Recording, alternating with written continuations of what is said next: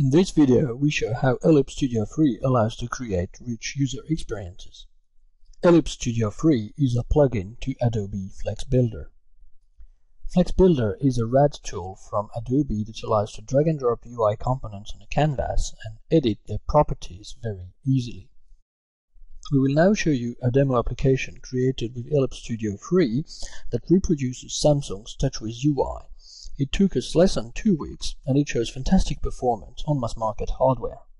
Here you have Flex Builder code view with the ELIPS Studio 3 plugin loaded and ActionScript code that executes in OpenPlug's phone simulator.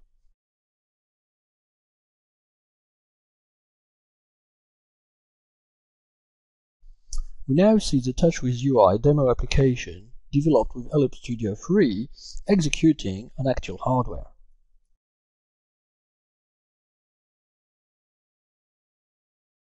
We even went further and developed the iPhone's CoverFlow user interface.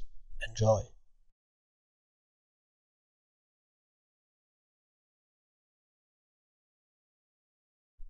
In conclusion, ELIPS Studio 3 allows rapid development of rich UIs with built-in web services and very good performance on RTOS and will be supported by Ellipse in 2010.